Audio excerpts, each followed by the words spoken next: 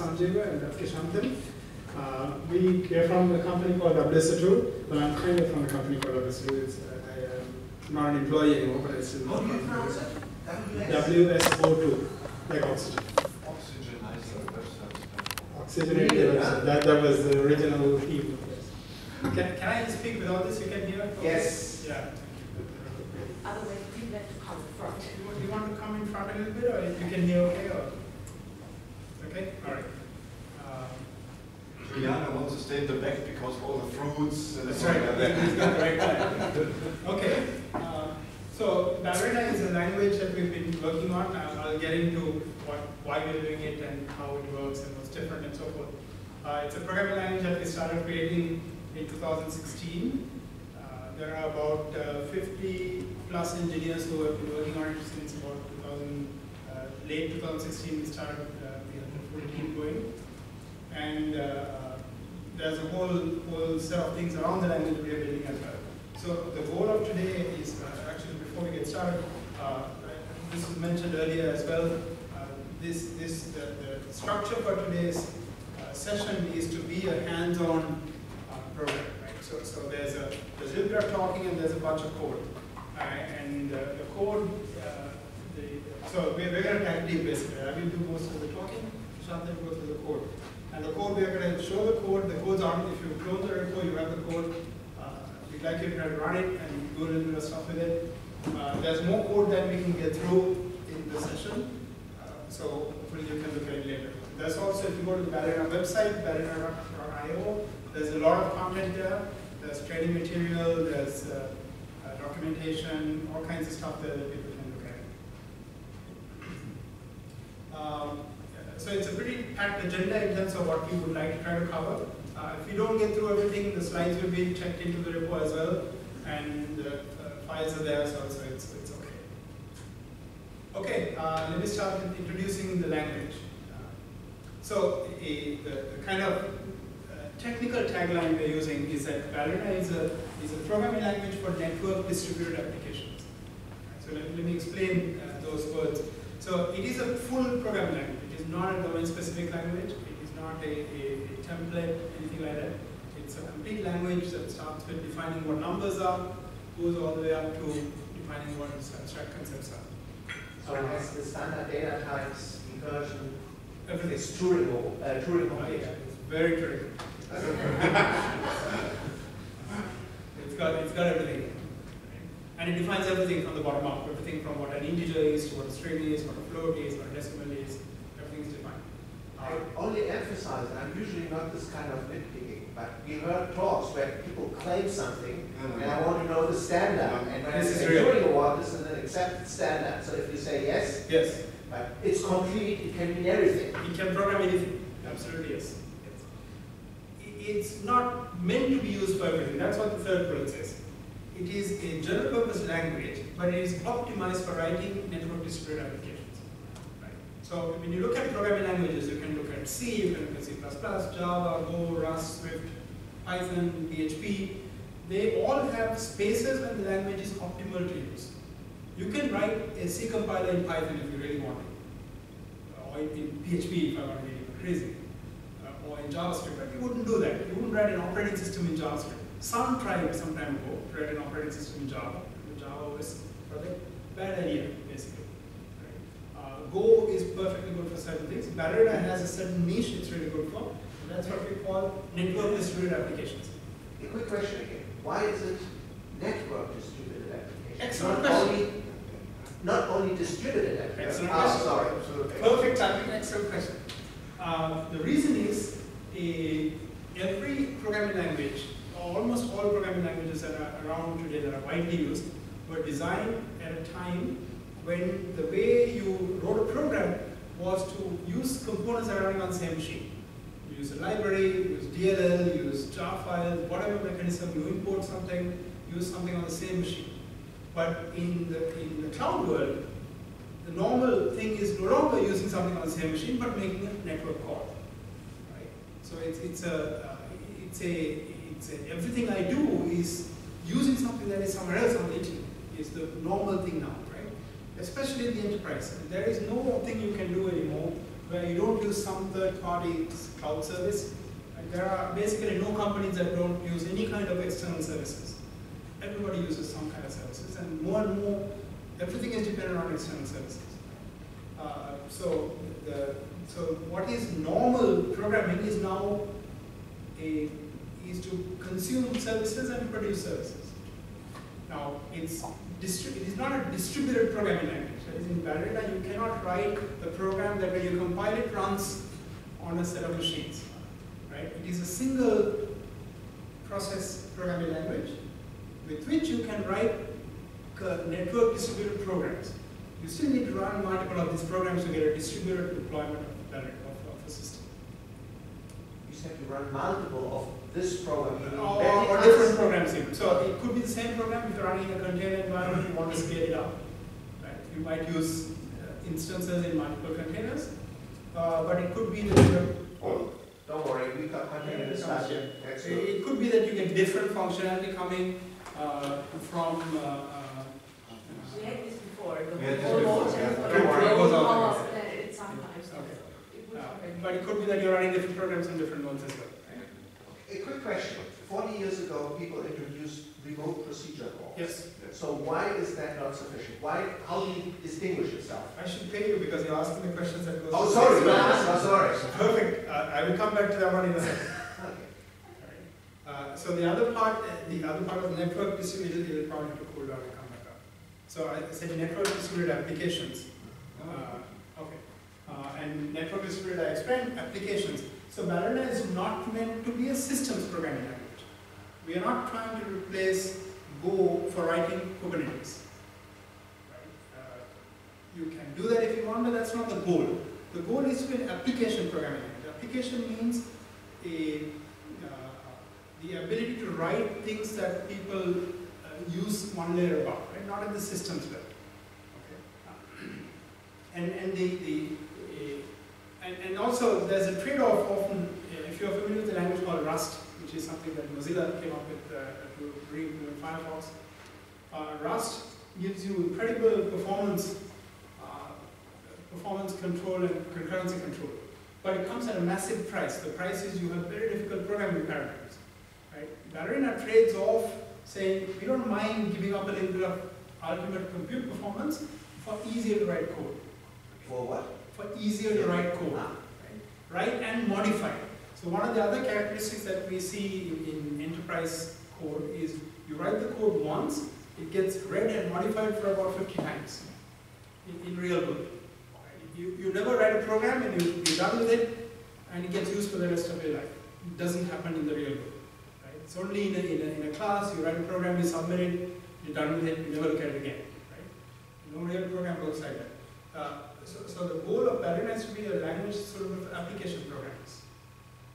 Now let me come to uh, the design principles behind the language. Uh, so the first one is, is a, Mort is a classification that Microsoft came up with a long time ago when they were um, when they designed uh, uh, tools and and uh, they, they classify developers into three categories: Einstein, Mort, and Elvis.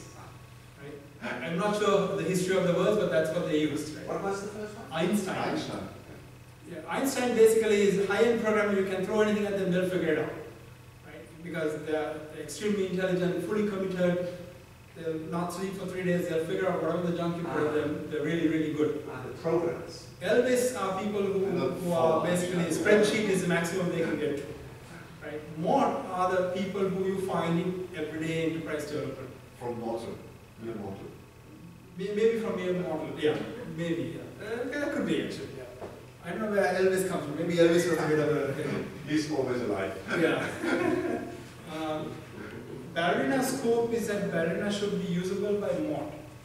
That is, it shouldn't be too complicated for a, a normal programmer to understand and to write effective programs that work really well. Right, so we don't expect you to be an Einstein programmer to be able to write really good programs in Ballerina. Right? So only to compare, Java is also a Mort language? Um, Java was very much a Mort language when it started. Java more and more is not a Mort language. Java is Einstein language. it's becoming more of an Einstein language. More on the framework, the amount of stuff you need to know in order to use Java effectively has gone up quite a lot.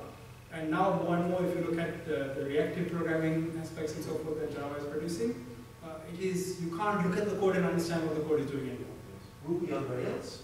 Uh, very special case, Ruby on Ruby is a different, is the language, Ruby on Rails is a framework. As a framework, it's perfectly good. Uh, if, if that framework works, it's very effective. So it's what? Yes, it's more. Uh, another part, the, the design is to be familiar. That is, most programmers are now familiar with uh, some C, C++ heritage language, uh, either C, C++ or C Sharp or Java or JavaScript. So we, we follow the same syntactic paradigms of C, C++, C and C++ as a result. It's also not a research project. It is a, it is an industry language. So there are no experimental language theory concepts in there. We try to take things that are well understood in the programming language world and bring it in a, in a cohesive form. Right? Uh, a, a, a point there is when you design a language, you never do everything with ideas that you have. Right? You take ideas from all kinds of different people and you blend them together and try to find a blend that works really well. Uh, Java did that primarily from C++ and, and Smalltalk. Uh, C Sharp built up a lot from Java and, and so forth. Right? So every language learns a lot from other languages and tries to build something better. And that's what we are doing as well. Uh, readability is very important. Again, we expect the code to be written once and read way more times. That means when I open somebody else's code, I should be able to understand what this code does without having to spend days understanding the notation and so forth. Uh, another part is to design the language along with the set of the tools that go with the platform. Uh, let me explain that in a second. Uh, so language, language basically means what is defined in the specification. It's a syntax, it's the semantics of the language. The platform means everything around the language to make it work. In today's development world, uh, uh, if you go back to when C++ was first written in the late 70s, uh, or late 80s, sorry, uh, it, it was, uh, there was something called Cfront written, which was a precompiler basically that converted C++ to C. And that's how C++ is compiled initially. And that's all you had to do at that time. There was no IDE, there was no testing, there was no documentation, these concepts didn't exist. Now when you have programming language, you have to think about the entire life cycle of software development and see how it fits into that whole tool chain, whole life cycle. So that's what we're doing in Barrel. We're not designing only the language, we're designing the language, implementation, the tooling, uh, the life cycle management, the project structure, documentation, testing, that entire platform is being developed. Otherwise, you can't, can't, uh, can't be a competitive language these days. Okay, so what is unique as a programming language?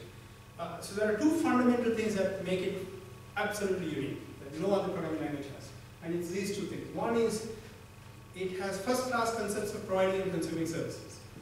Right? So network awareness is inherent in the language. The idea of services, the idea of consuming services, all the challenges that come along with it are inherent in the language.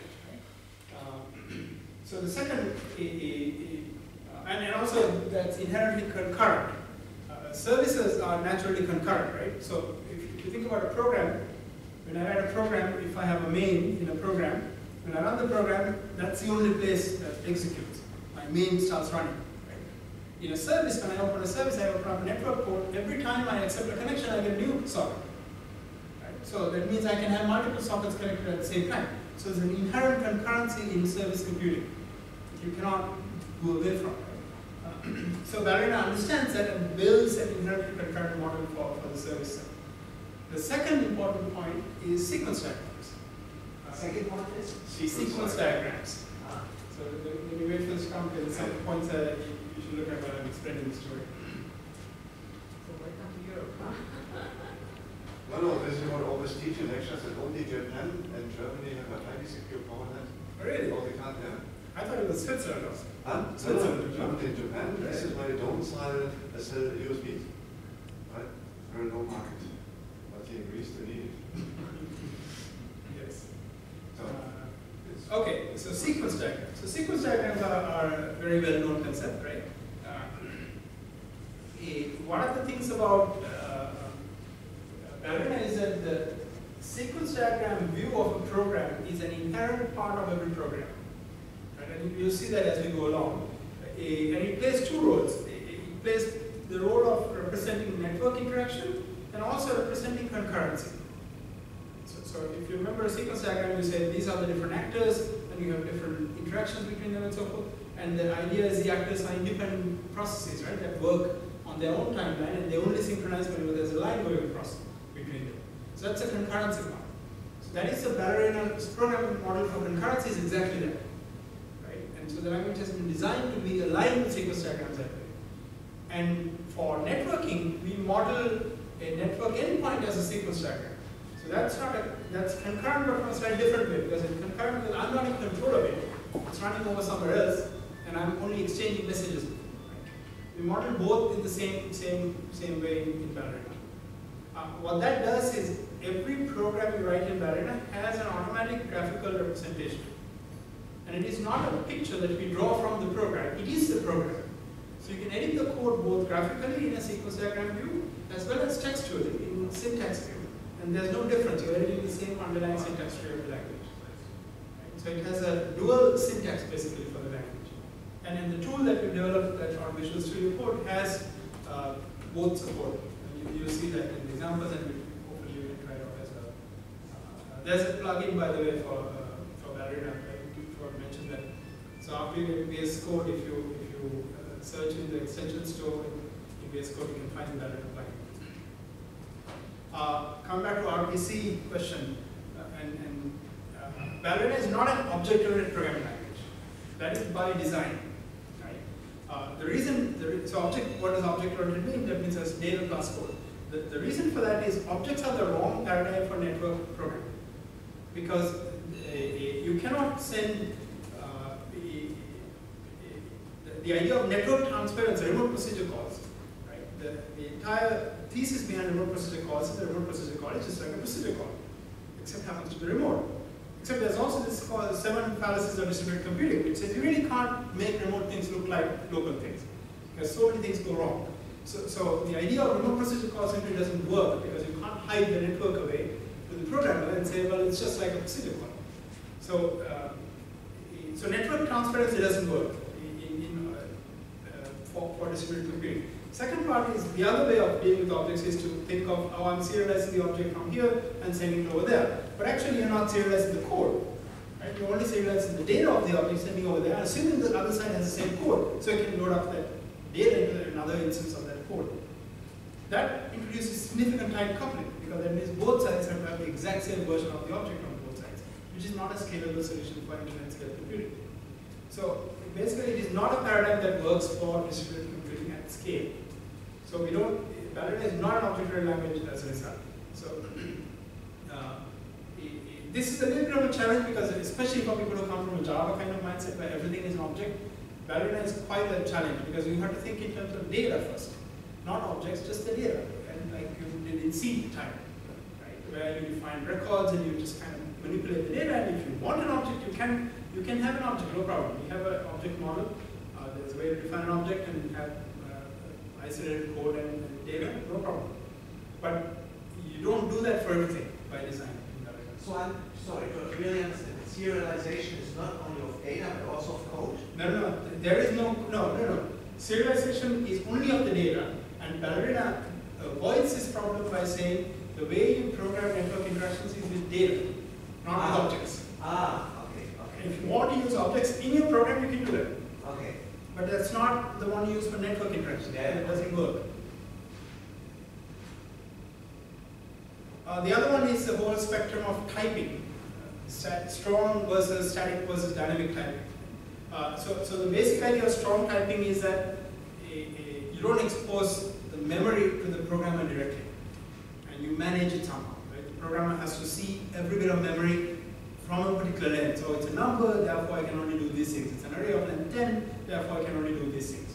Right? That's what strong typing is. Ballerina is strongly typed, and so is every other modern programming language. Because nowadays we don't ever want to go to the C style buffer overrun kind of problems. Right? Uh, static typing means you do all the type checking and compile time. Dynamic typing means you do more checks at you do checks at runtime.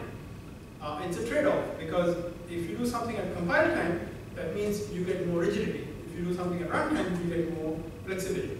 But with flexibility comes instability, because sometimes your program might get tested all good, but one particular path might cause a type error to occur at runtime. If it's statically checked, that cannot happen because the compiler guarantees that it doesn't happen. Uh, so, so it's a trade-off. We have a, what we've done in Ballerina is to find a sort of middle point, where we do a lot of static type checking, but there's a few things pushed off runtime in order to make the static experience more tolerable. You'll see that as we go along. Another, another interesting thing is, again, coming back to network uh, distributed aspects, is the use of a type system versus the concept of a schema. You look at XML schema, JSON schema, and so forth. These are ways of describing data that goes on, on over the wire. And type system is a way of describing data that you manipulate in the program. Right? The disconnect between these two is what's called data binding. If you look at the Java world, in the web services world, there's a concept of data binding all the time, which is I take some data that comes over the net, I bind it over some data structure that I have over, over the, in my program. And so it's, it's a mapping between the schema language and the type language. In the case of Ballerina, uh, so, and, and, uh, and, and when, when, when they don't match, it creates a lot of friction because you, you have a you have a data that might match, might not match, so it creates lots of problems. What we've done in Ballerina is quite unique. The type system for Ballerina also works as a schema language because the type system describes data first. So that part of the type system is actually a complete schema language.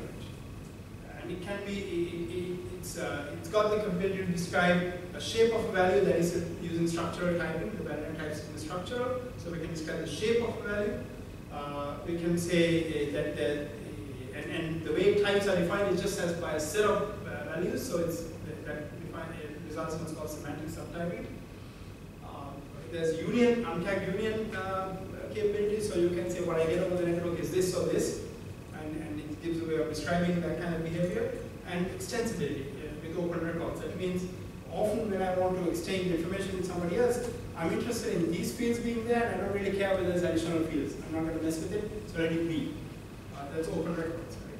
So the schema language, the, uh, the, the, type system of Ballerina is aligned very well to a, a schema language as well.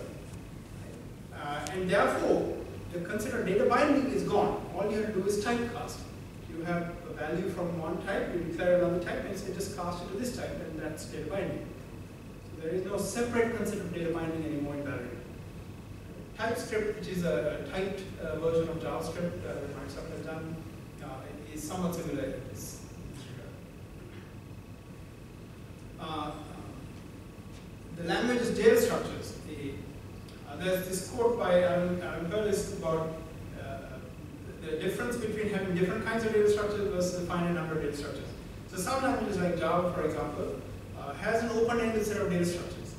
Uh, and you have libraries of all kinds of data structures. You have stacks and queues and this kind of stacks and this kind of all kinds of stuff.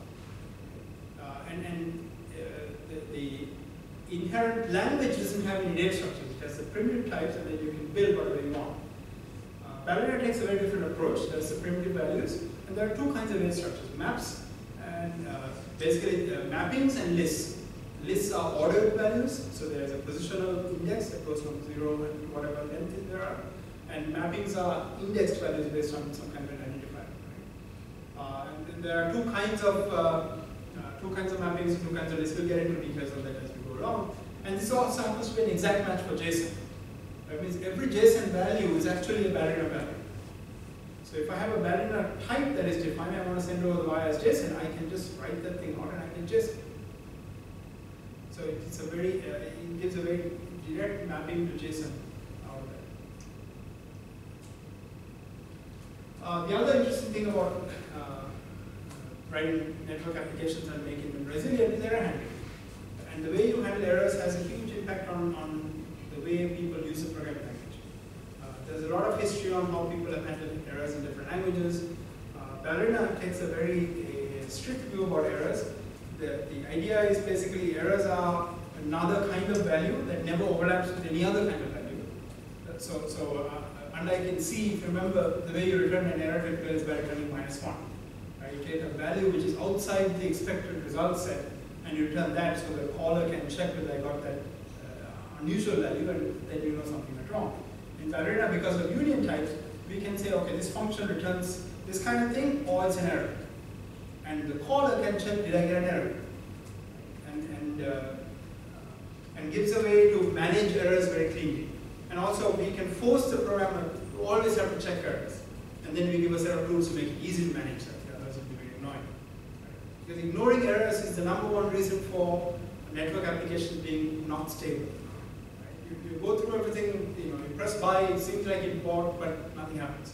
That's because something went wrong deep, underneath, some program ignored it, and it fails. And later on in the level, you don't know what went wrong. Uh, just to clarify a couple of things with Java and Ballerina, the first implementation we've done is generating bytecodes and runs on top of the JVM. But Ballerina's semantics are not defined on top of the JVM. It's not optimized for the JVM. JVM is not the target for the language.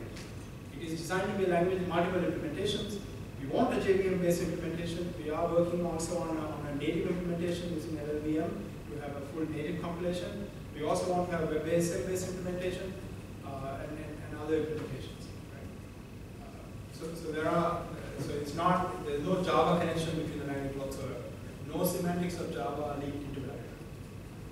Uh, yeah. It is also an open source, uh, uh, so it's important to understand what open source language means. So the language specification is a document, it's not source code. So the word open source doesn't apply to documents. It applies only to source code. Uh, Ballerina's implementation is open source. Ballerina's specification is under a Creative Commons license. Right? So And what kind of Creative Commons Ah, So anybody can look at it and, uh, and I think we put a uh, no derivatives license. So if somebody wants to derive something from it, they have to come back and talk to us. Otherwise, it will create forks of the language that we don't want. Uh, the way the language is being version managed is we, we have a versioning scheme where we say 2000 year and then release 1, 2, 3, 4. Uh, so right now we almost about release 2019 R2. Uh, there'll be a small fixed up version of R3 coming out. That will be what's the basis for the first Java implementation be completed. And then we'll keep going like this. So there's no version 1 concept. It's just language will keep on evolving. Uh, there, are two levels of stability in the language, a sort of a base level and an experimental level. Base level means we, we think we got it right. Uh, there could be some problems, we might need to tweak it a little bit, but we think we got it right. Experimental means there are some things that are going to change here. Currently, XML and tables are marked as experimental, and, and, and, transactions few other are marked as. There's some evolution that we have to do. And when you get a version of the platform, everything is done. Uh, so by end of this year, we expect to have XML and tables fully done. Uh, next year, we, uh, early next year, we will finish streaming queries and transactions. Uh, everything is done through GitHub. The spec is in GitHub. Uh, there are issues you can open in GitHub. If you can, you can track uh, discussions, conversations all in GitHub. Uh, for this particular session today, we are using a version of Ballerina called 0.9910, which predates the latest versioning scheme. And this is not fully aligned with the R2 spec concepts that are that are coming out. There are some small differences. Uh, so, so whatever the code you are using today and, and what, eh, you learn today, there will be some minor tweaks coming up when the R2 release comes out uh, end of July, Okay, uh, any questions before I, I go forward and explain the type system at high level and we start looking at some code? Yes. Um, so typically, if you send a request to any, let's say, web service endpoint, what you do is to do some calculations, modify something, and sometimes you store it in a database. Yep. Um, so does Ballerina itself provide some purpose for that, or is it kind of in JBallerina you going to use JDBC or? No, no, no. Yeah, th- there is, yeah. Uh, so we treat databases as network resources, and uh, we haven't uh, we haven't attempted to abstract the query language away, but as in the query language, if you're talking MySQL, you must use MySQL, SQL. If you're talking to Oracle, you must use Oracle. SQL, and so forth. Uh, but there is a connector application. We will we have some samples of that coming up as well, of talking to data. So so Ballerina is trying to address the full spectrum of writing network applications. So there's data on the back end, there's logic, and there's the wire on this side. Not the UI part, we're not dealing with the front end UI part of it, but to communicate to the front end is services and APIs. So we cover that whole spectrum. So we don't store the data, we don't create the UI, but everything in between, Ballerina has an answer for, or has an opinion on. I only wanted to reflect on what you said. So what I heard mostly from your side is we have the same language construct like any other programming language. We only redefine sometimes the semantics. Or are there unique language constructs that I cannot find in any other program? Yes, there are many unique language constructs that you will not find in any other language. Okay. So it makes it also syntactically different. uh, the syntactic principles are similar. Yeah, of course. As in, you know, curly Yeah, brace, yeah, yeah, yeah. that kind of stuff. But you have, for example, special, special keywords Yeah, yeah, that. yeah. lots of special keywords. Yeah, Okay. it's, it's very different. It's not an extension of some other language. An entire language is designed from the beginning to the top. You have iteration, recursion, procedures, functions, and blah, blah, blah. So you only package that syntactically, totally different, but quite different. Yes. Well, okay, I'll be patient. Okay, anything else? Okay, let me briefly explain the type system and then we'll look at some code here. More useful to look at code.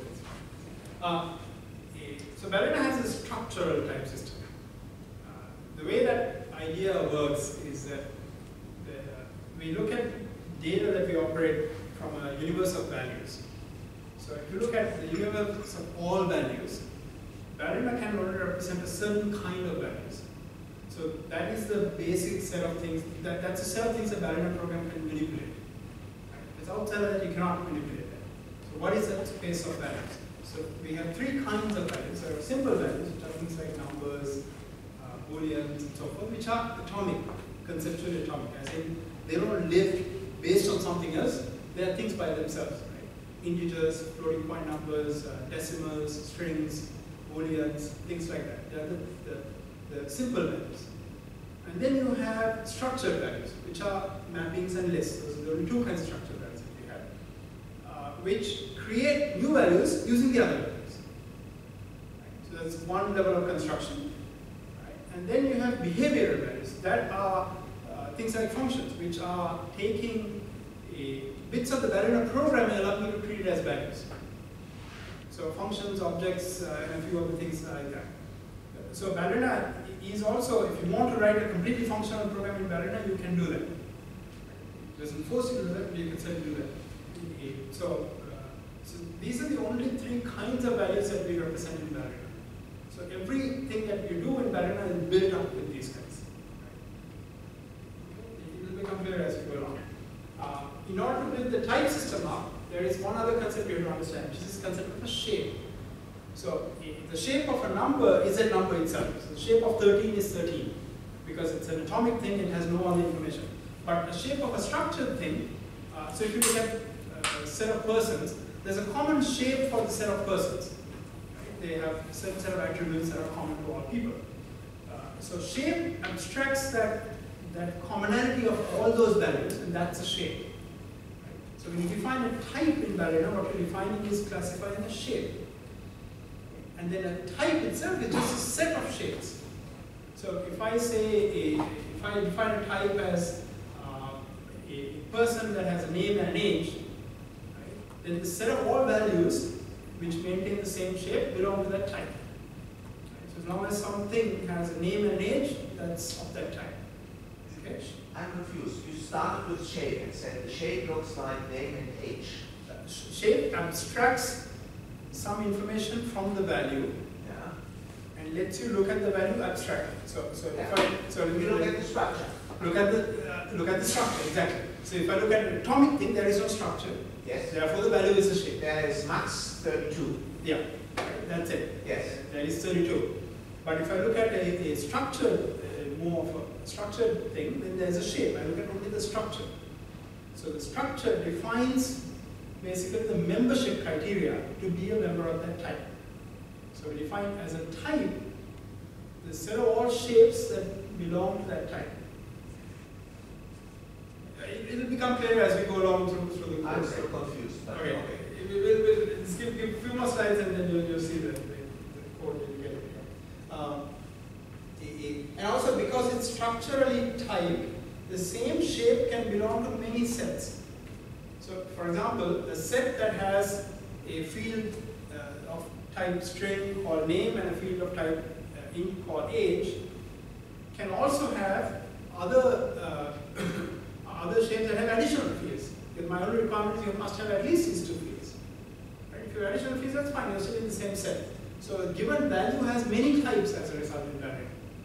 Right? The type of a value comes from the shape of the value, and because a given value can satisfy many shapes, you can have many types.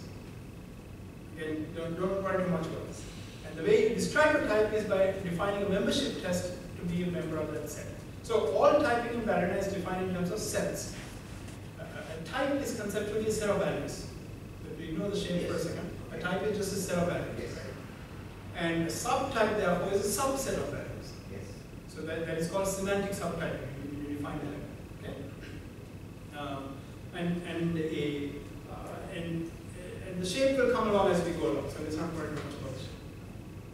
Still, I want to have from you one sentence that defines the shape because I'm still confused. Okay, shape is an abstraction of the, of a particular value. So, so So for, it's an integer shape. uh, no, no, no, a, a integer is a, is a type that holds all shapes of integer form. Right, so integer type holds everything from minus whatever to, to the 64 minus 1 doesn't- Yes. to not infinity because these are 64 bit integers. Okay. So it's a mathematical, they're not mathematical integers, it's- they're not natural numbers, Like it's a, a enumeration, the age is between zero and two hundred maximum. that's This it. would be a shape. That would be a shape, okay, that's right. So byte, for example, in Ballerina, Why is sh- the values between zero and hundred, which I call H type, not a type, and a shape, but a shape? no, no, no, it it is, it is a, it is a, so- sorry, it is a type. It's a, it's a type that consists of the shapes 0 to 100. So Ah. let- let's say byte. Uh, Let's say byte as an example. If you notice, and I'll explain this picture in a second. Uh, if you look at byte, there is no primitive type in Ballerina called byte, which seems really crazy because bytes are very fundamental in computers, right? But what is a byte? A byte is just a number between 0 and 25. There is no, at an abstract value concept, there is no thing called a byte. We got we fall in love with the byte in the programming world because the computer has 8 bits of memory and everything's organized on groups of 8 bits of memory. Now, implementation of the compiler, of course, optimizes when it sees a byte, doesn't go and allocate memory at you know 64-bit integer quantities represent bytes because it knows the maximum number you can put in there is 55. But the type byte in Ballerina is just a union of the numbers 0 or 1 or 2 or 3 or 4 all the way up to 255. But does it also means that if I, let's say, if my first range is between one and one hundred, and then I have to extend it to one hundred, so I have to change then the whole variable where it is in which has a particular type, and extend this from one, uh, to two hundred, so I have then to do a lot of rework, right? Um, if, if you intentionally define a type which is 0 to 100, Yeah. and then later you decided that I want the that Ah, you're defining the type number, the type, and just do it once, then to define Exactly. a new range. Right. Automatically, The all variables of that variables. type are allowed to carry that range of values. Type is a set criteria. So you define the membership criteria for a set. Once you define it, any value of that set can be chucked into that type. That's it.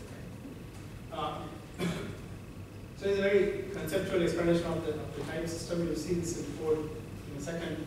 Uh, so the set of all values, which is represented by the universal type, right, is, uh, we have a concept called, a type called any, which can represent any normal value and error, which represent error value. So at the highest level, errors are separate from everything else. Right? And within any, you have simple types, so this, this one is, is, is nil, that's the type, the special value to represent I have, I have nothing. Uh, and then you have boolean float decimal string, right, on one side, and then structural types are arrays and tuples, uh, and map record table, etc. Right? We'll, we'll get into all of this. You see in the types uh, code. So What's the difference between record and tuple? Uh, records are keyed, uh, they're mappings basically. So records and maps are both mappings. Tuples and arrays are lists. Difference is lists are integer indexed, uh, starts at zero, goes on however long the list is. Mappings are string indexed, keys basically. I talked about tuples and records, so what is the difference between a tuple and a, a tuple is limited? No. No, it's Tuple right, it's and- ordered. Order. Tuple is ordered,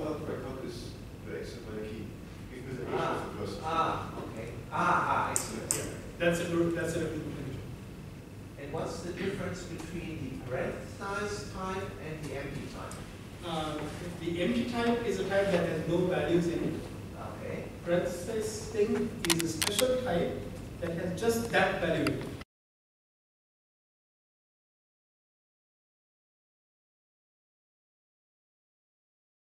The type can just do it once and define exactly. a new range. Right.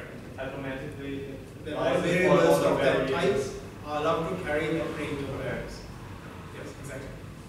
so type is a set criteria. So you define the membership criteria for a set. Once you define it, any value of that set can be chucked into that type. And that's it. Uh, so it's a very conceptual explanation of the, of the type system. You'll see this in in a second. Uh, so the set of all values, which is represented by the universal type, right, is, uh, we have a concept called, a type called any, which can represent any normal value and error, which represent error. So at the highest level, errors are separate from everything else. Right? And within any, you have simple types, so this, this one is, is, is nil, that's the type, the special value represent I have, I have nothing.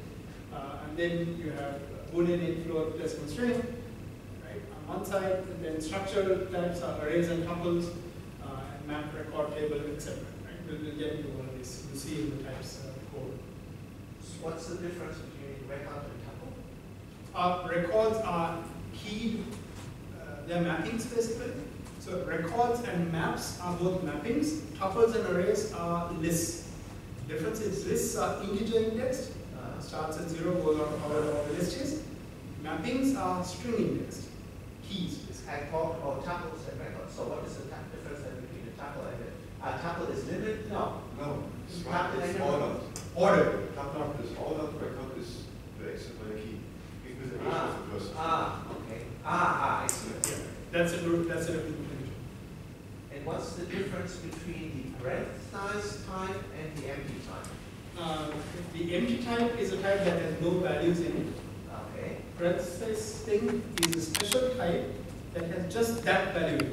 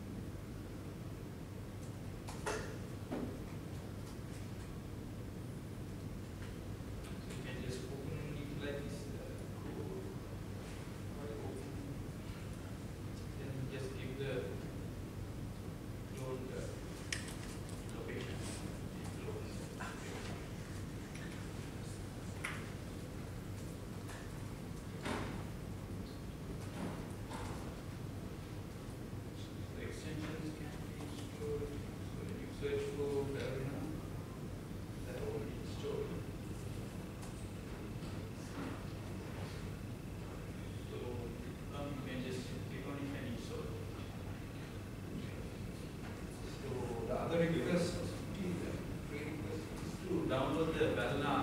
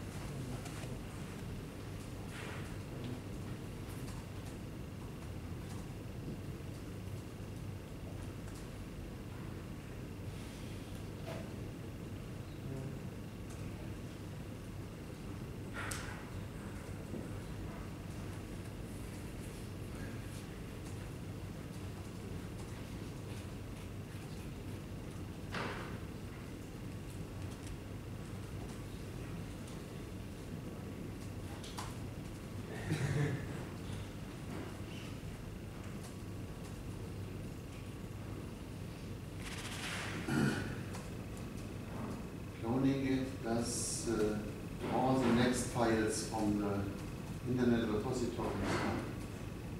I have äh, to again download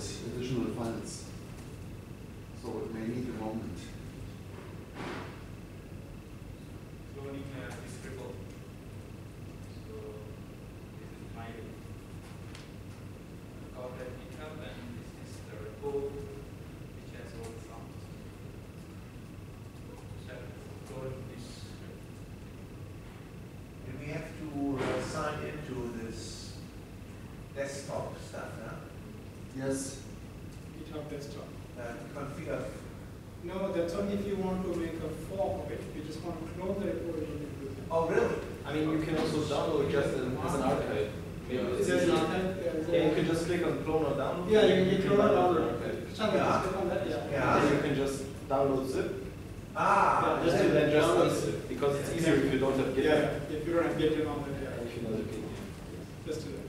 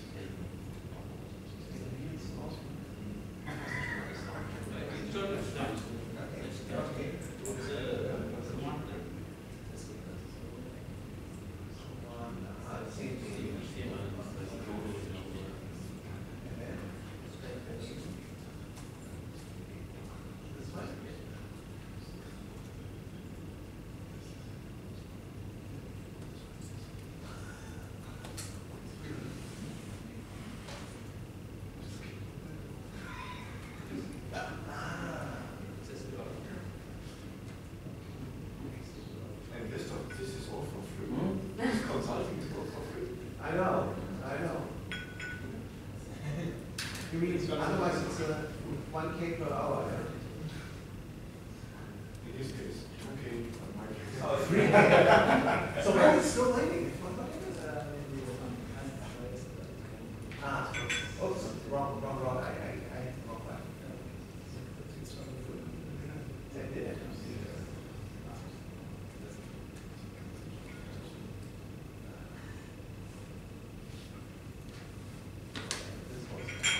is okay?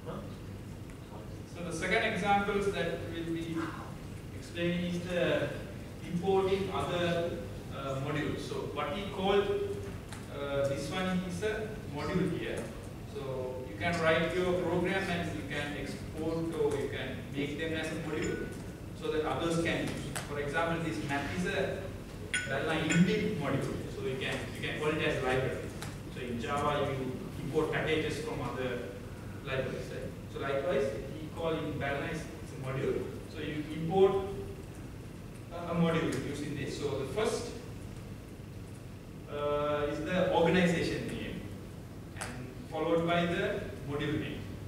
So in here, this module's organization name is Ballerina and the name of the module is math. So I will just import that. Then you can use whatever the functionality that is coming from this module inside your so I have a, a constant uh, with the name pi. So I will just use that from this package. So this package has a, a public constant with the name pi and I'm just using that. So the, it is assigned to a value which is of the type float. So this will be type checked at runtime. So if you say some other value, will, uh, some other type, it will fail because whatever exposed, exported from this, uh, the constant is of type float. And the other one is uh, you can also import your module as areas. So in here I'm importing the IO module with another alias for console. So you will use that when you are using that module. Uh, maybe it's uh, functions and maybe it's uh, types. So this is one way to use one of the functionality from an important module and other one is using an alias from uh, uh the IO module and imported, importing that as a, uh, a name, a different name called console. So I will just invoke one of the function from that and just passing this value which will just print the, uh, the value five. So the difference between this and this is that importing it as a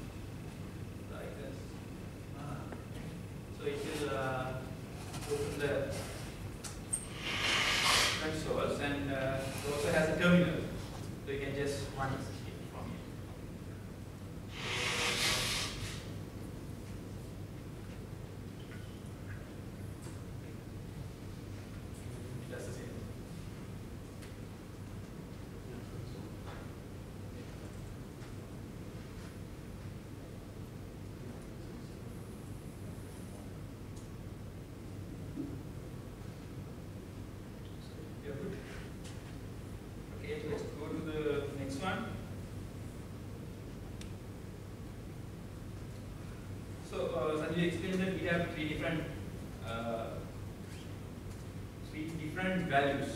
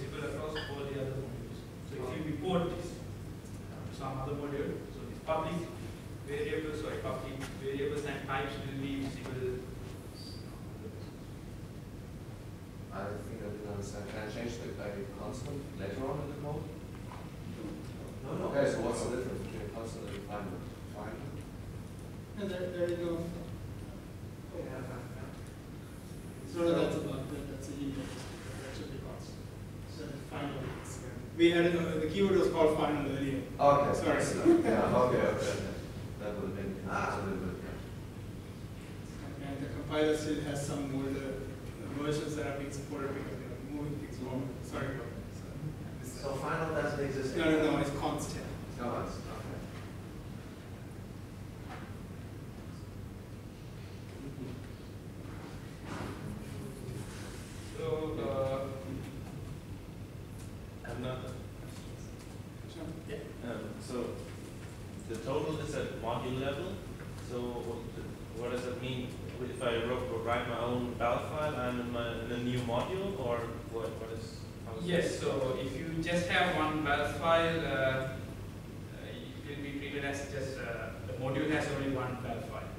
So it's like a default module.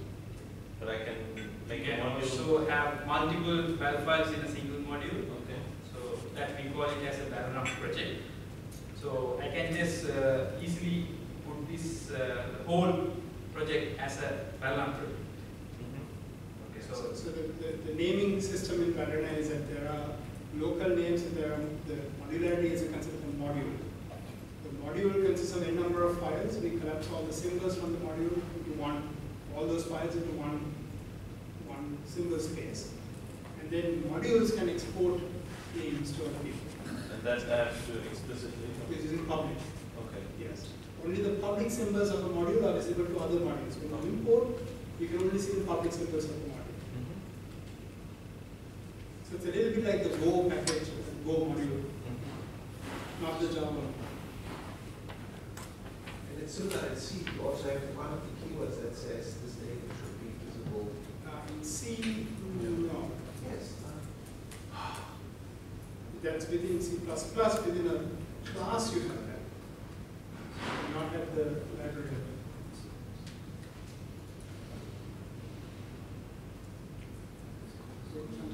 Yeah, so the next one is functions. So let's go to the next concept, the function. So we were talking about main functions so far, that's the entry point into a program, but you also can define other functions. So here, I have defined three other functions and I'm calling those from within the main function. So this is function which takes an integer as an argument, does something and just returns that as a, as a return. So the syntax has to specify what, uh, what I am accepting as arguments and what I am returning from this function. So if you don't say anything, if you don't have any return, it's just a return return, it. So the other one is there are uh, the arguments type. So we call this defaultable parameter. so in this case, this function accepts two arguments. First one is a type of int and second one is type of string. But this has a default value, this uh, argument. So if you don't, I mean, when you are calling this function from some other place, and if you don't specify a value for this argument, it will take the default. But if you want to change that, if you want to pass some other value, you have to use convention like this. You have to say what is your argument name equals and what's the value. Can I only pass decrement, or do I have to specify all equals? Because I don't do that with the integer, I only say five. So the- the- there's a difference between not, the, the positional arguments, the, Yeah. the the non-defaultable arguments are only called by position. Okay. Defaultable arguments are called by name, by name. Example. Um, it- the reason is if you don't do that, uh, the rules become complicated for reading. Some people might put the name, might not put the name, just so, figure uh, out yeah, yeah, yeah. how do Yeah, they fit. yeah. Because if- when you put the name, you don't have to put them in order either. Absolutely. You put anywhere you want. Am I allowed to say A equals five? No. Okay. So this is uh, we call this named argument. So when you have a, a value like this, then you have to say OP equal. The other values A has to pass the So that's type of arguments that you can accept. And other one is the uh, rest argument. So where var. So what happens here is that uh, uh, you can pass Arbitrary number of. arbitrary number of uh, values which are of type string. So it also accepts an array. So in this example, I have just passed an array after uh, passing the first argument and just is calling that array. So note the difference between how you define and how you pass. So define the three dots are after the type name and you pass an array. It's beautiful. If I would have address as a string, I have integer A string dot dot dot names, and then I would like to an address. So you can do How do I distinguish then the strings of names from the address? strings of names. No, in function rest arms, I Yeah. have integer A string dot dot dot names, and then adding, Uh, then And your then- third parameter, no, the rest param, if you have a rest param, it has to be the last param. ah, and you can have That's one one person. question, yes, okay. Otherwise, you Thank you. get a Yes, shape that problem. was one You don't know what Yeah, to- sure. And maybe that has been discussed, is it called by value, called by reference, or called by name? Uh, it is called by value, always. Wow. Java is called by value as well. Well, but C does it on purpose, called by reference. Uh, no, in C you have to pass the address. C is also called by value. You have to take the address and pass the address. You see. Uh, C You're right, C++ you're right, has you're right, call you're right, you're reference. right, you're right. So the name parameters are uh, naming the parameter, but it's just passing the value into that name parameter. These two are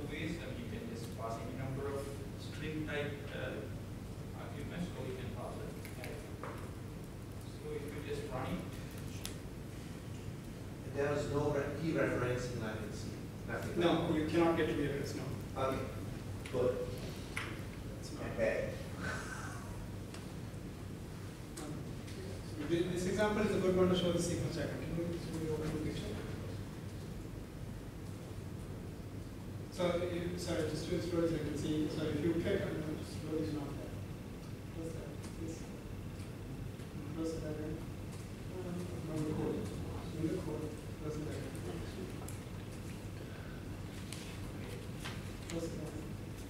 So if you go to the right hand side, show where the button is. That button there, the second button on the top part, that shows you the sequence diagram view of the program. So if you click on that one, click on it like this, you get a second screen opening, it's close to Explorer screen, no close the code. Right. Now, this is showing you for each function, the corresponding sequence diagram. Collapse the, go to main, go scroll down to main first. Now, the collapse, yeah. Now, now open, open this one also. Open all way. Yeah. So this lets you see the whole program as a diagram. You want to see each part of what's happening, shows you what's happening in every part of the program in the sequence diagram. This, this becomes a lot more interesting when you have concurrency and network stuff happening inside those functions. How did you get the last one? Uh, yeah, so it's good, if you, if you guys do now, starting. Open, open the Yeah, I picture. have that one, Yeah, And then on the, next to the edit button on top, Yeah. you see, don't press it, it says expand code. ah, ah, you click on that one, it expands the, because what, what this picture shows is just the interactions between yes, yes, yes, the workers only, right? Yeah. Expand the code, you expand that. right? Then it shows you wherever there is code, this program is, right? Yeah, yeah. You see the lines of code, and if you go to any one of these lines of code, if you mou- mouse over it, you get a little button here. Yeah, click on that one, it will show the sequence diagram of that one, Ah. right at that spot. very nice, okay. So that function call is actually just this sequence diagram. Yeah, yeah. that's a boring sequence diagram, Yes, that shows yes. the point. We'll get to a more interesting one later. And then you can edit this picture, and if you edit this picture, you edit the code, there is no difference. So there's a one-to-one correspondence. Yes, so just go to a simple function above, just edit, turn, click that edit button, so the edit button here. Yeah. right? Now you can do only a few things here, so like, you know, that. We, we only allow you to graphically edit things that have graphical representation, we don't let you write the code graphic, it's kind of pointless. So put a Y shape or something. Now, on the left hand side, you see a while showed up. Okay. It's the same thing, but here you see in a more graphical form.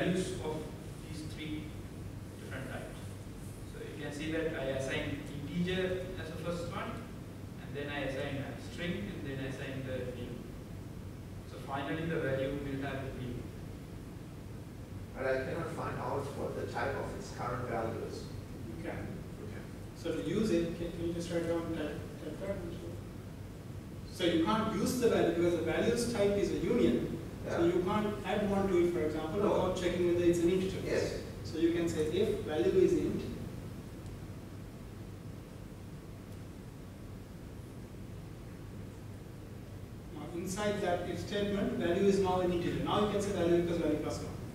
Okay. Right? This is called a type guard. So this guarantees that the compiler at runtime, this is a runtime check now. If the runtime type of that value is an integer, this if statement will execute. Yeah. But you have to check it by yourself all the time. It's not like that it's internally converted automatically. No, no, there is no conversion. It's a unit. So remember, think from a set point of view, right? You have the set of all strings, set of all integers, and variable has been declared as it can hold a value from this union of values. Yeah, sure, but what I mean is you're, you're checking values and yes or no. So that you're checking it with, with your code by yourself if it's an integer, yes or no. So you cannot write just value is uh, value plus one, so it's not, not internally recognized by No, no. i- So i- i- if we, we know internally, but if you write value equals value plus one, and if value is a string, what do you want it to do? Runtime error. So we don't want to have runtime errors too much. So then you're So it's a design, Okay. so it's a design principle to say reduce the number of runtime errors. Programmer has to know what they're doing. Okay. So it's actually a design principle in Ballerina. We're not trying to make it easiest to write a program. We're trying to make it easiest to write a program that can work reliably and does what you expect it to do. So somebody who did value equals value plus one probably didn't realize that it might be a string. There's nothing you can do at runtime other than throw up in hands and die at that point, saying, ah, something went wrong. We don't want that to happen as much as possible. Yeah. Is error also a type? Error is a type as well. We'll get to your error example coming up, right? Uh, There was this type hierarchy. Yeah, error is in the type system, it's just different from all the other types. Yes. So you can Yeah. always distinguish between the. Yeah. So if I, if I do some communication, right, between, I don't know, let's say, let's say we have two workers, and so they're sending messages to each other. Right, And I have to define string and union and. error, exactly, error. exactly, error, exactly how you do it. Yes. So every variable I can use with this operator to find out what it's. Any expression, you can Oh, find out expression, expression, yes. okay. And there's another, there's a concept of type matching that you'll come to later, Yeah. that will show you how you can do more structural decomposition as well.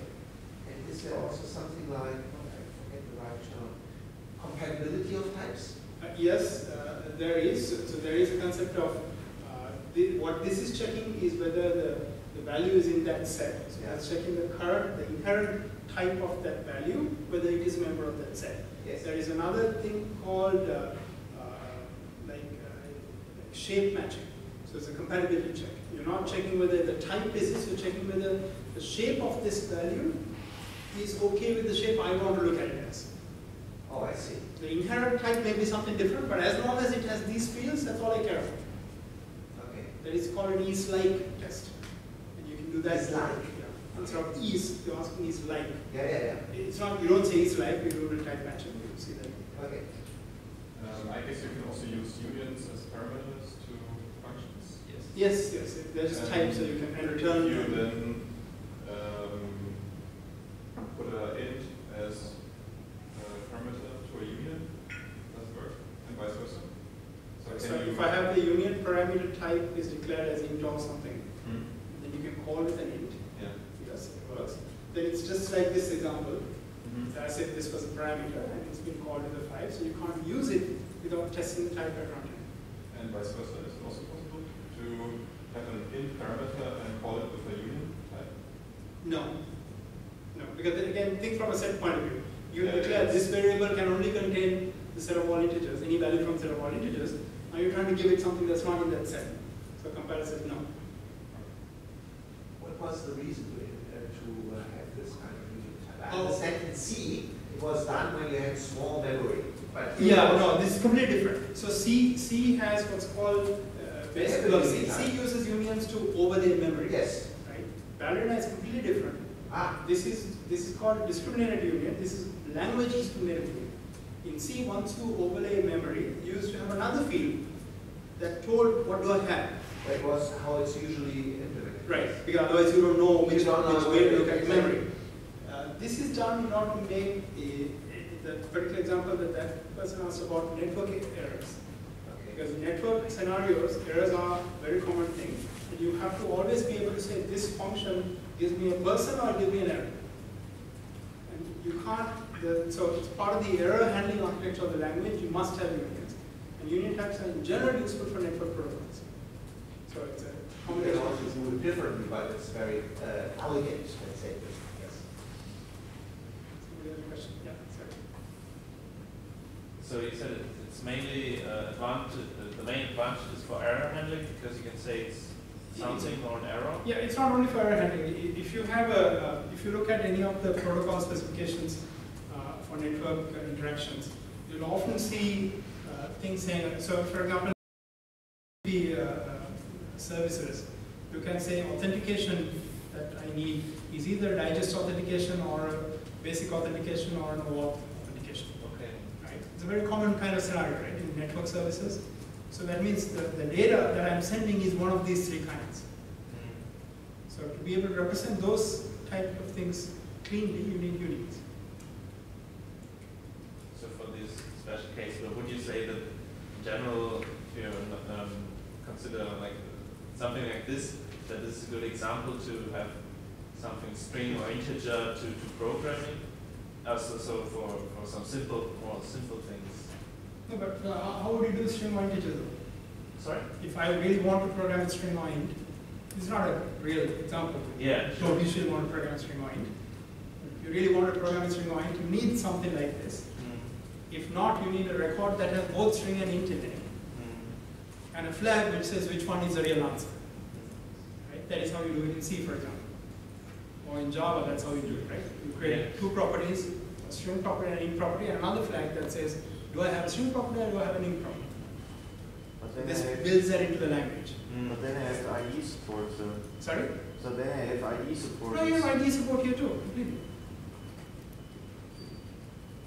But what, what you get, in the ID, it knows exactly what the type is. Right? So, and even the type, now that type guard value is int, within that block, now values type is known to be int. Okay. So in, in here, if you do value dot, I don't know the number function that I wrote inside that, it's a value dot. So for example, the, okay, these- these are now there is, uh, we have some more methods coming for built-in functions. So if there was a built-in function, well, it knows what the type is. So ID is fully aware. Uh, yeah, I just wanted to ask uh, regarding the nil. Um, so, it's, so I, I need to union the nil if, if I also want to be allowed to set for value the nil value, right? So ni- nil, what nil is used to, use for is to create this, uh, this use case The of optional types. You know, Java 9, they introduced this concept of optional, right? You can wrap a class with another class, which says either I have this one or I don't have that. Right? So optional types are saying it's either a string or it's nothing. Uh, okay, so it doesn't mean non-initialized, it's really nothing. No, no, it's nothing. It's not non-initialized. There is no non-initialized state possible in Ballerina. Ballerina guarantees that everything is initialized before you what is then, let's say, the, the default value or the, the initial value of the string int and all the other types if I don't set them to a, a value? So we don't let, if you don't set them to a value, first of all, you can't read it, Okay. right? So even Java has something called definite initialization. So in- every path, it must be initialized, right? But there are certain cases when you do need an initial default value. For example, if an array of integers, arrays in Ballerina are pass automatically. So if I assign to, if I declare an array of integers and I go and assign to array slot 17, what do you do with 0 to 16? That's called a filler value. That filler value comes from the default value of the type. So if it's int, for example, it is 0. If it's string, it is the empty string. It is not null. So in string, so it's important, the string type doesn't have a, uh, has zero length string as the default value. not null. There, are no, there is no null in Barrett. You cannot have a null pointer problem in because there is no null. It's explicit. If you don't have a value, it's explicit. It's optional. So question mark is a shortcut syntax for saying string or nil. And maybe, maybe it's just because I come from the Java world, but how can you differentiate between the string is really empty because there is no value and I don't know the value yet? Which Uh, so then, then you would use an optional string. You declare it like this. Ah, okay. Right? If you declare it like that, that means it has a nil is a legitimate value. So then the default value of that is nil. That means it has no value right now. Yeah, okay. So it's very clear distinction between two. But you can call it. Hmm?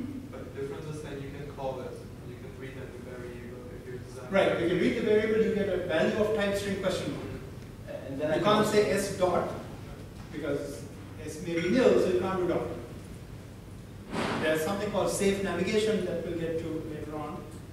The syntax is going to change sli- slightly to be question mark dot. So if you say s question mark dot, then it does a safe navigation. It checks at runtime whether this is nil. If it's not nil, it continues. If it's nil, it throws an error. Okay. So this is same as uh, doing uh, Yeah, those two are. Well, these two are. Yes. What is the default value of a union? Uh, there is, uh, default value of a union is nil if it contains nil, if the union contains nil, otherwise it has no default value. So you can't use, you can't have an array of such unions and have filler situations. Compiler won't let because you don't know what to put.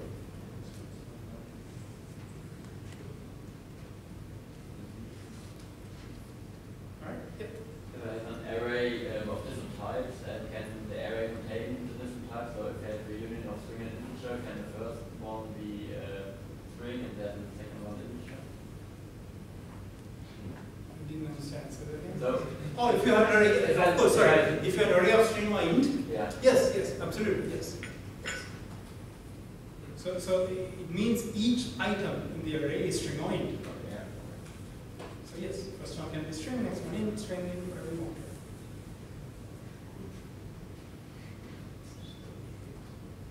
Here a question, so function can also take union as an argument and return union as the type as. Yeah. Um, regarding his question with the union array, how do you define it then? Just Okay, put sorry, the you- brackets in the end of it, or? Okay. I- Oh, there we go, yeah, so we look at the list once we get, get get through. So this, this is, these are the arrays. So we have two different types of lists. One is the array and another one is the tuple. So if we go over array, so this one is a variable length array. So it can I mean, get a row as in values. And uh, And it's sparse, it auto fills if you go beyond the length. yeah, so in here, so it is it has index up to nine. Okay, and you are getting the value and assigning to it. But if you assign uh, the index 999, the, the in between will be get uh, will get filled by the default values value in type. That is zero. Okay. So you also can have a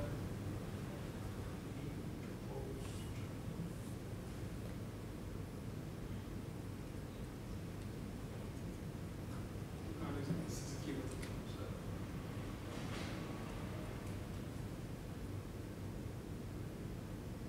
So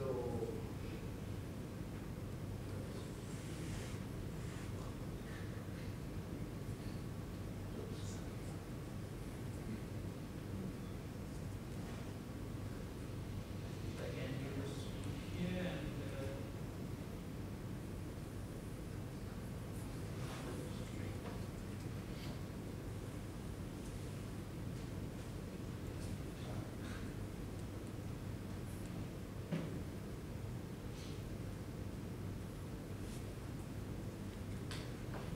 Whatever, whatever this is.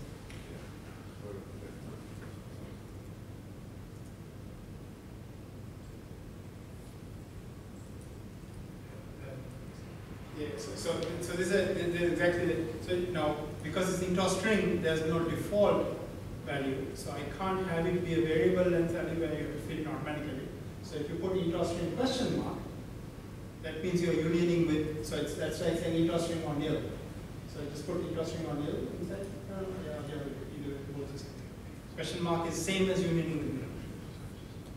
Now it's, it can be filled automatically because there's nil there, so if I lengthen the area, I can put nil. So the default value would be then nil if I'm getting the index one hundred. That's right. Not anymore zero? like- No, because I don't know what. That's the right. default That's value is.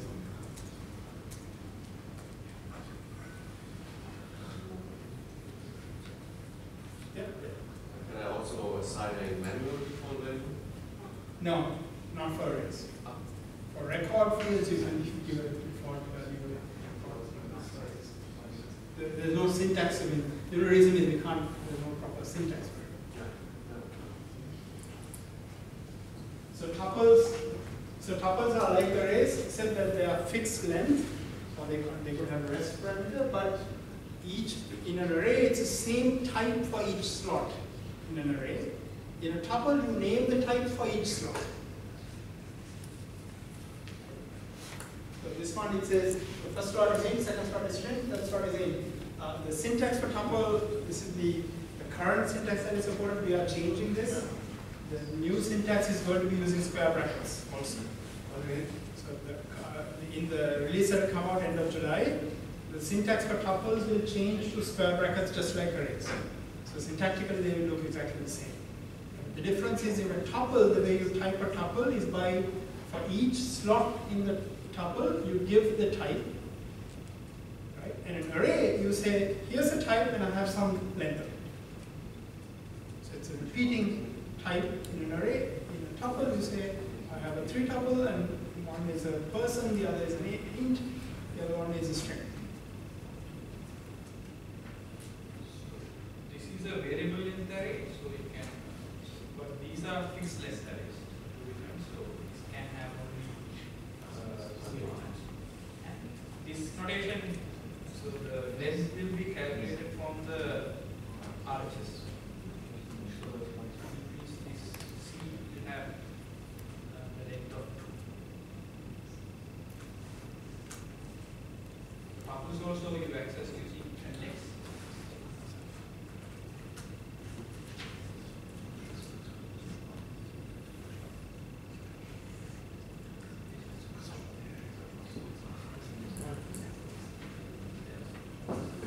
You also can return tuple, tuple is a type, you can as well also.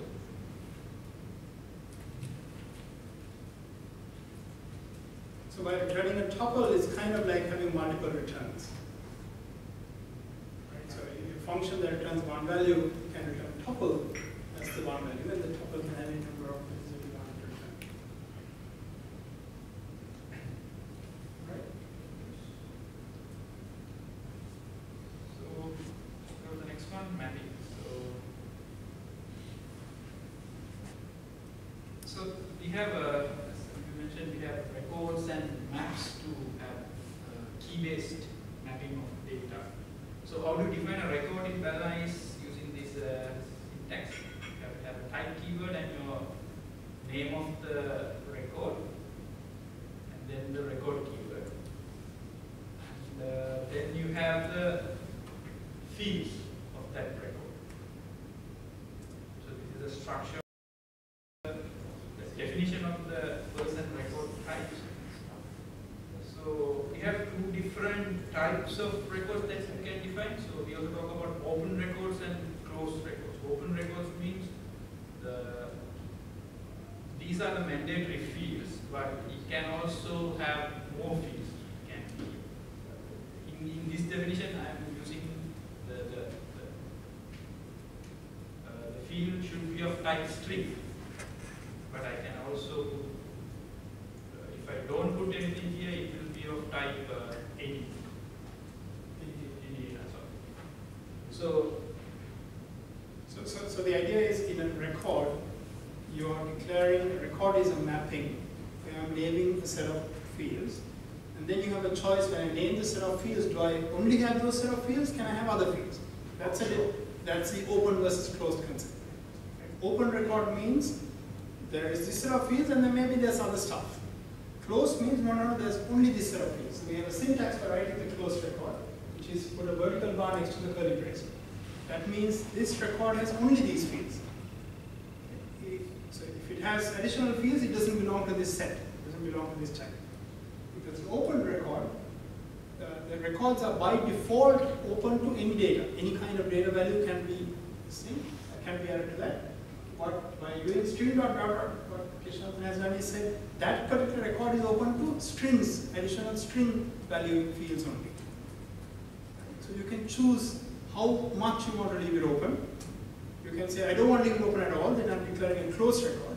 I can say, I want to leave it open to this kind of data, or I can open, leave it open to any kind of data in the record. But this open record is only valid then for additional fields from the type string. Uh, for example, if I have further values which are not only from the type of strings, and it's just add additional ones to the string, integer, float. and You can, you can just union that if you want. Okay. It's normal type history. Yeah. So it's, it's a, the dot dot dot is what says it's a rest. Any, any number of things going here. So you can put any union there, or you can, if you don't put anything, it's equal to saying any Yeah, data. and then you can just. Yeah. You can control how much you want to allow it to do. So how do you initialize a record is uh, use the uh, type name of the record and the variable name and then you use uh, this notation. So you have to open with the curly brace and you have to use the key base access. So we call it. So India's name is uh, of type string, so I have to give the value of type string. Age is uh, but uh, you can see that address I have not uh, given here, but still there are compilation errors. Because address has a default value. So in this case, let's say I don't have a default value like this, then you, you, uh, I had, I had to initialize the third field as well. Right?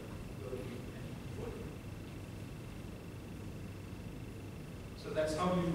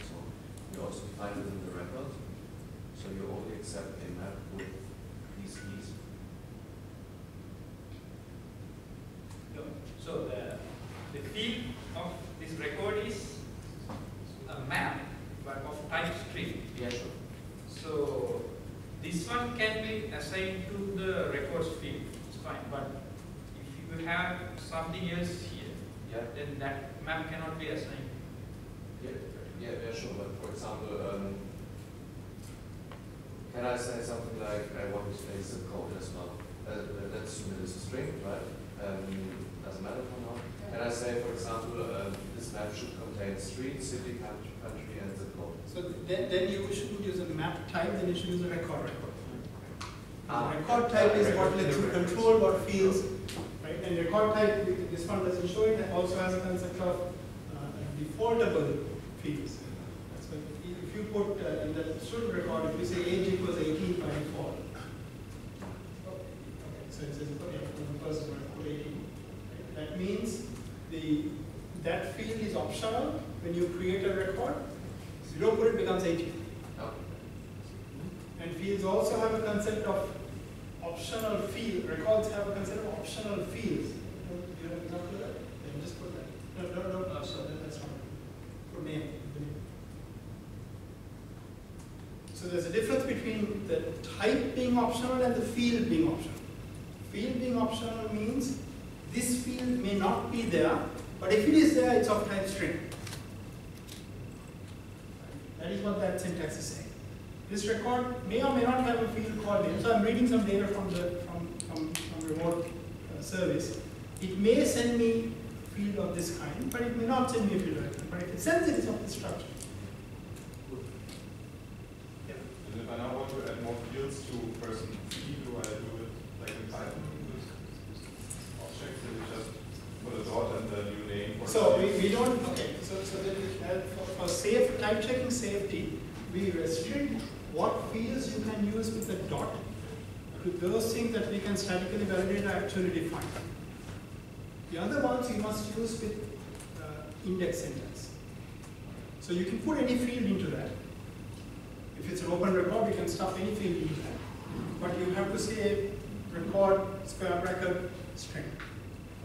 And the reason is to basically prevent errors like somebody makes a spelling mistake in a field access. So let's say someone calls a function foo, right, with a person record, P. Okay, and P has name, age, address in it. And, and instead of spelling address with two Ds, I put AD like that. I made a spelling mistake. The compiler will not catch this if we don't, if, if, because the person is trying to fill in the address field, and, and because it looks like syntax, the compiler still, if, if we don't say these fields that you access to the dot must be defined, the compiler will not catch this. Now, we, we still won't catch this. If you put the same spelling mistake in the square bracket, it's okay. But if you put it like this, it's not okay. Because it looks more like syntax, so we, enforce the rule that what you can access with that syntactic style are things that are declared. Now there's one tweak on that, which is related to JSON. JSON has something called lax typing, which means we defer the typing runtime, and because in JSON it is normal to prefer the fields that are not defined, we actually love that. But then I should get an error at runtime, you could get an error if you access a field that doesn't exist. But, but if you assign a field that doesn't exist, no problem. Just create that field.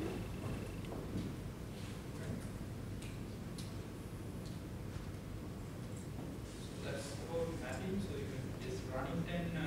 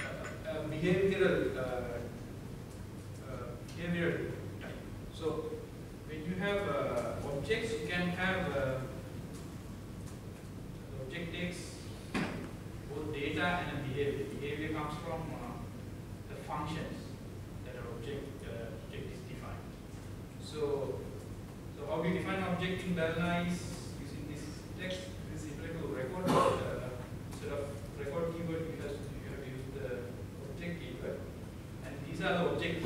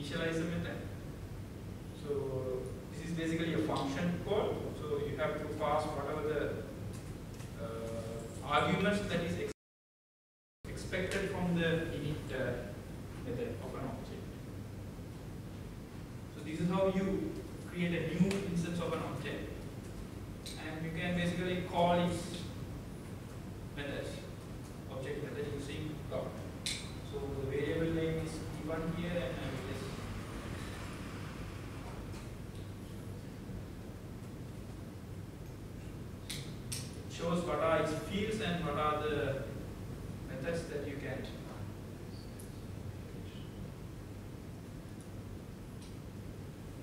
so you can write So out these are basically objects, nothing too fancy about them.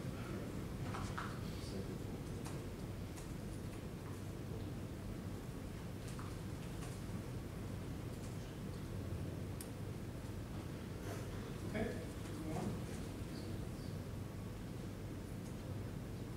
So the other concept is we also have uh, uh, you can pass around functions as function pointers.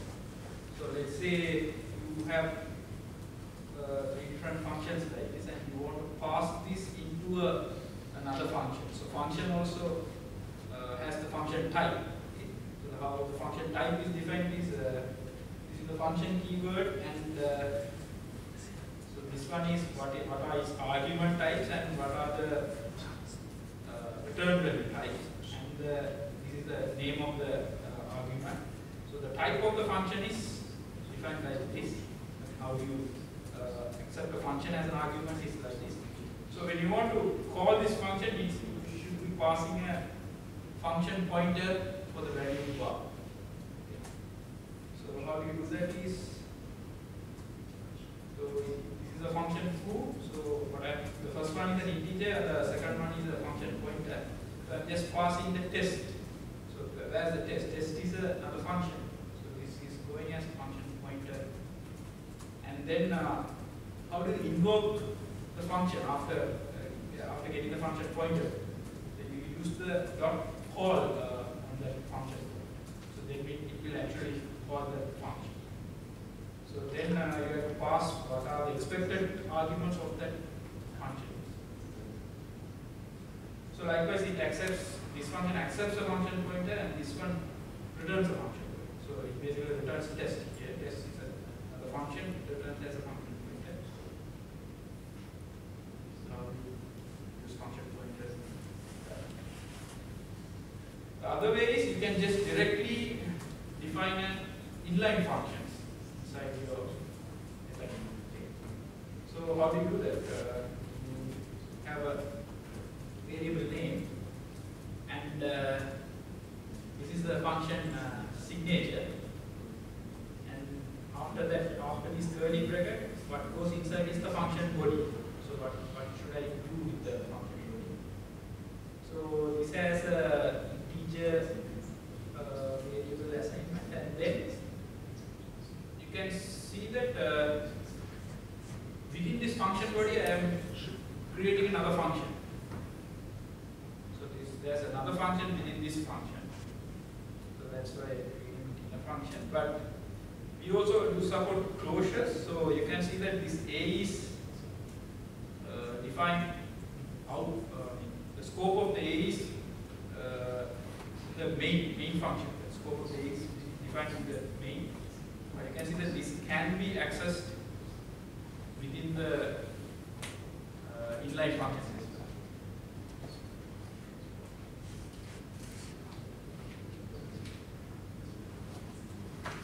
So next one is XML. Uh, so, uh, XML keyword, uh, the XML type, you have the XML keyword and how you define XML is using this notation. So what goes within this is the actual XML content.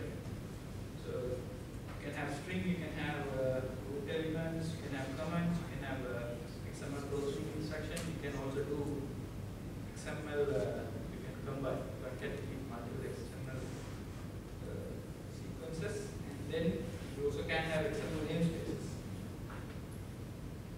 So how we do it? Uh, so accessing the namespace as area is like this, or else whatever defined in this scope will be visible to XML, uh, if we have defined XML x6. So when you're running, it will print the XML, uh, whatever we have defined here. So next one is any and any data. So there's a picture that's shown by Sanjiva. So any means uh, all the types except the error types. So if you just don't want to, you don't know the type of what is coming out from a function in advance, you can just say any a equals whatever the type that I'm calling on the RHS side. Can be that call.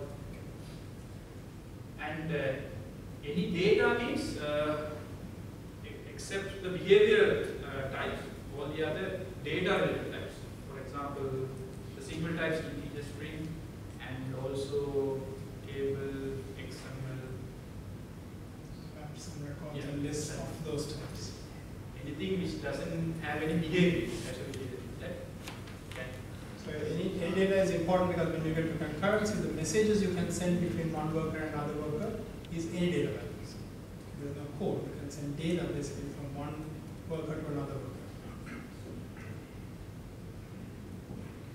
So here, so when you say data A is equal to 5, the value of, so type of A is actually it,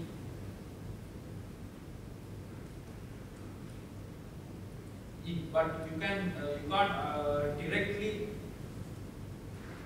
use some integer operations of, uh, on, on this variable. If you have to do that, you have to type assert it. Assert means you have to basically say A is of type int. Then, so if you know that this is going to be of type int, you have to assert it using this operation.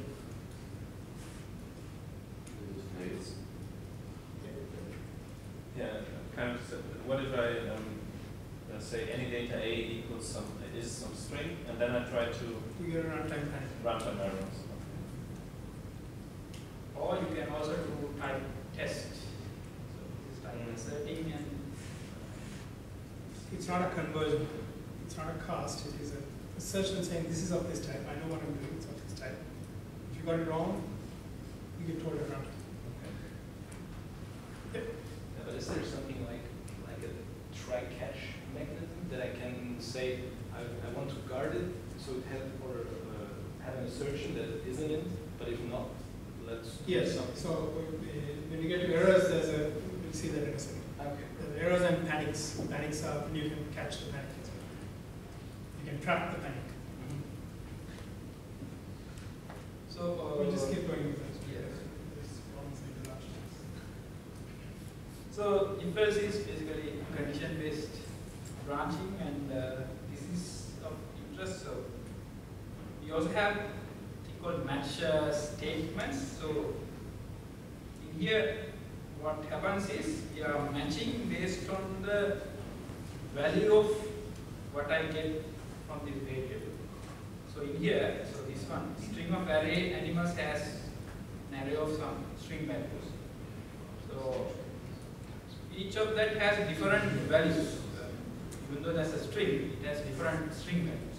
Let's say you want to match for a specific value, you can use this match state. Say that okay, if that uh, the value of animal is mouse, do this.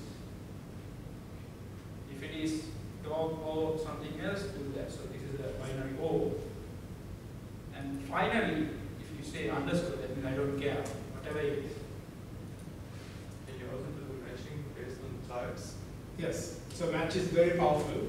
Uh, match is like a super steroid version of uh, case statements. Yeah. You because can you don't have to check it by yourself all the time, you can just use match and that's it. Yeah, you can do almost anything with match. Basically, you can take a value and break it up, and look at its fields, and based on that, choose uh, match is extreme power. There's a version of this coming even for JavaScript. There's a version for match for JavaScript. This is in Rust and Swift. This concept of type matching is now becoming common. So it's like the case statement, the switch statement, but way more powerful than your switch statement. But only a, a single expression is executed. Only one expression is executed. Okay. Which one is depends on the order and the Yeah. sorry, So the, the first, first one, which fits? First one matches Yeah, executes. okay.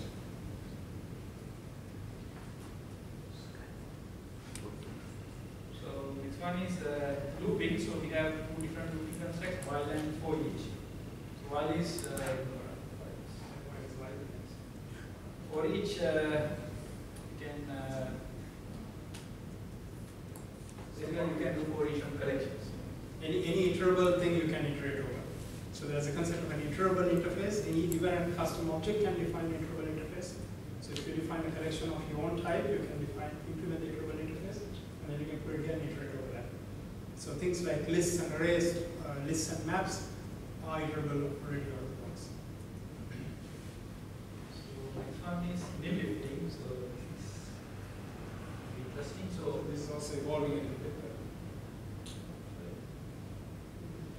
So let me explain the concept in into the details very evolving. So, so when I have a record type, um, a common use cases I want to go and say, get, get the person's address, uh, get the, the, the street information from there, get the house number. So it might say address dot street dot house number.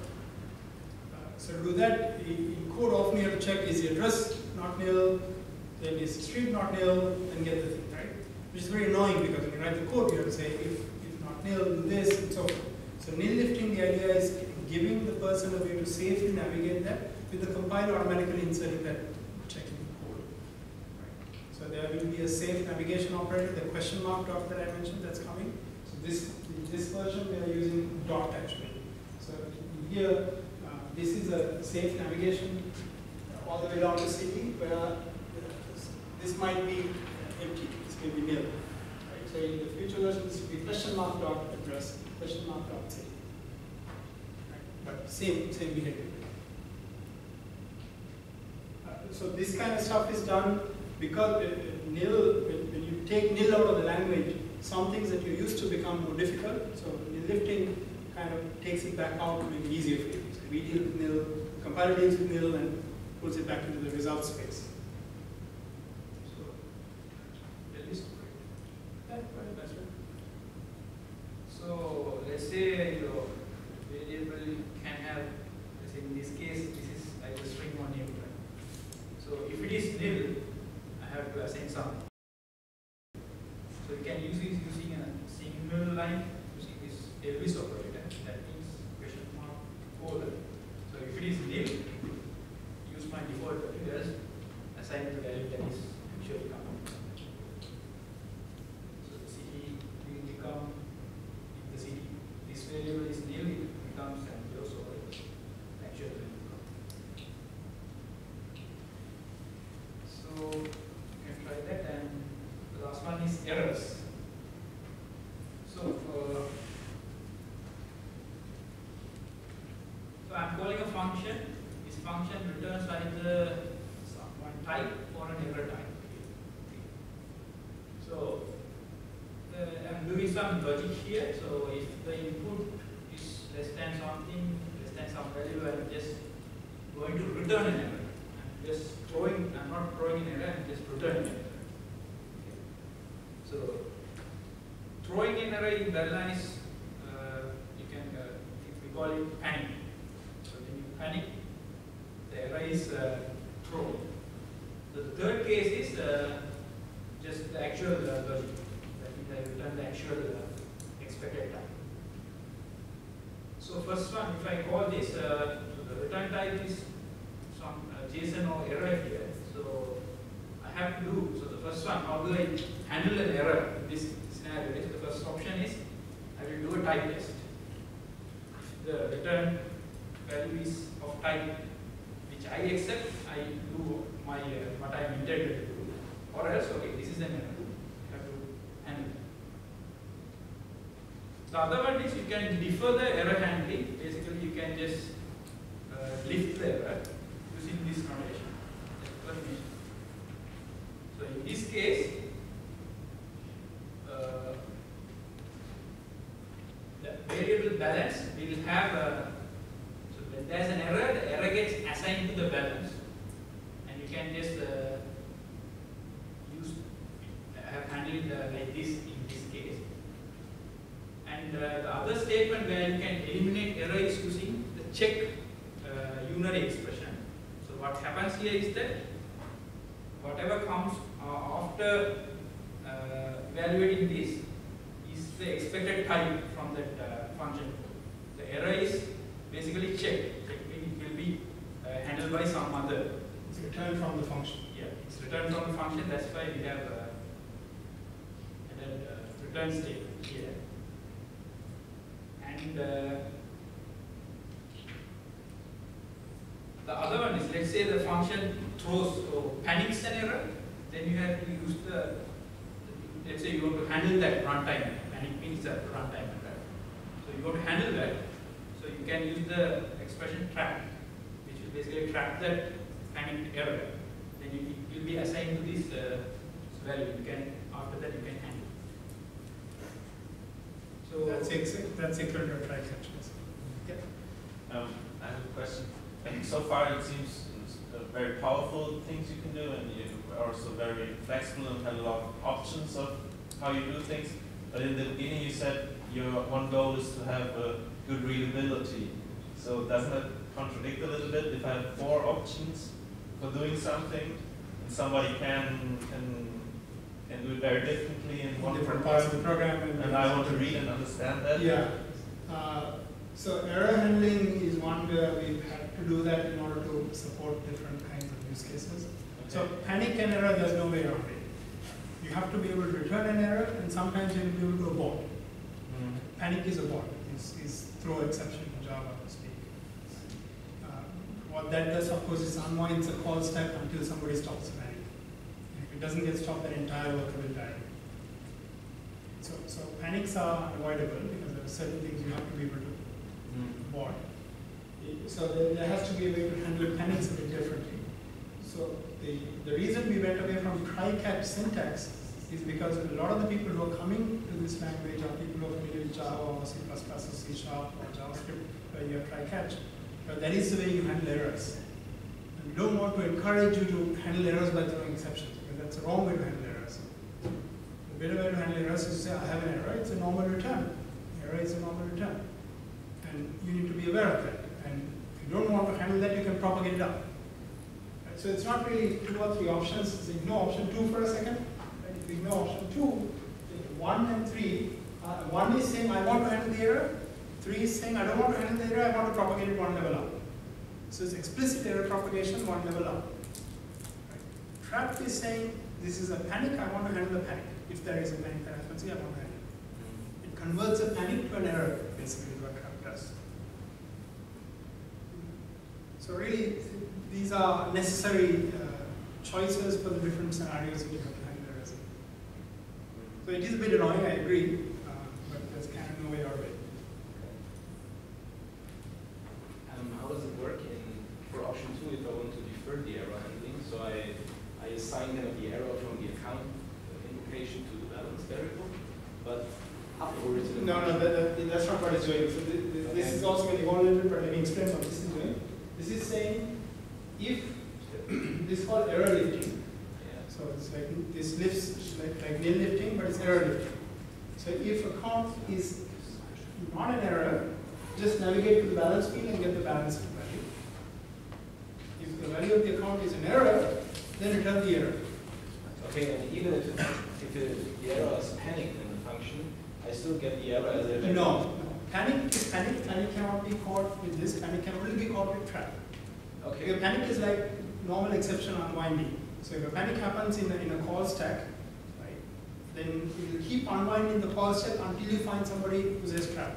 Okay, so that means if, if inside the function the panic, uh, the error is panic, Uh, the code is not executed, that will be escalated just, to the call. go up. Uh, right. This will not, uh, Yeah, we will not stop it. Okay, this will Only trap will stop panic. Panics are basically things that, that are not really handleable. Out of memory is a panic. There's nothing you can do about out of memory. Out of memory, you're done. You can't really handle it and come back.